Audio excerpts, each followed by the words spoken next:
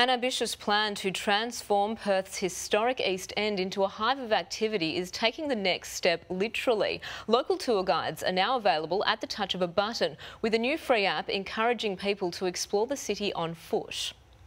All the attractions with none of the fanfare. I think a lot of people might not be aware of how much development has happened down here. Perth's historic East End is in the middle of a makeover with new dining and entertainment precincts. But experts say the area is still struggling to draw crowds and hope a free new app could boost visitor numbers. With the app, we're hoping there's something for everyone to help people explore the area and really be a tourist in their own town. Launched today, the Historic Heart of Perth app features five different walks showcasing the best of the East End, from architecture to art, coffee and museums, as well as the new Stadium Bridge. Tourists are introduced to a local guide through a short video before being directed to a series of landmarks. So Claire, tell me about this coffee shop.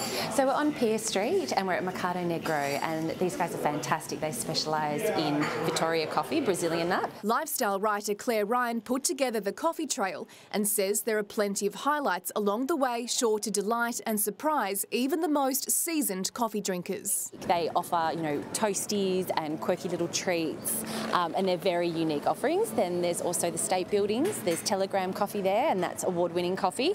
A favourite of Aussie actress Margot Robbie snapped with a Telegram coffee during her recent visit to Perth. Mobile apps like that are really important because that's what everyone's looking at these days. The Historic Heart app also aims to encourage people to trek from the city to the stadium and not just on game days. Just getting people to realise that it's not very far, it's only 30 minutes to walk through there, the streets are really leafy and green and, and there's things to see and do and there's some amazing architecture and street art and to just refamiliarise himself with that end of town.